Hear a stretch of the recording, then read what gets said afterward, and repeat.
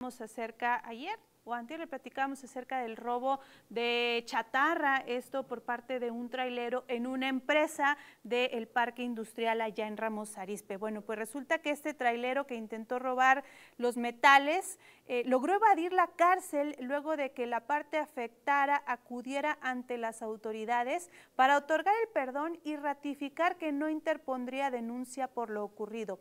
Tras este arresto de José Luis N. por los hechos sucedidos la noche del miércoles, los afectados acudieron ante la gente del Ministerio Público en turno para resistir de comenzar un pleito legal, entrando en diálogo con las autoridades para anunciar su decisión de no actuar en consecuencia.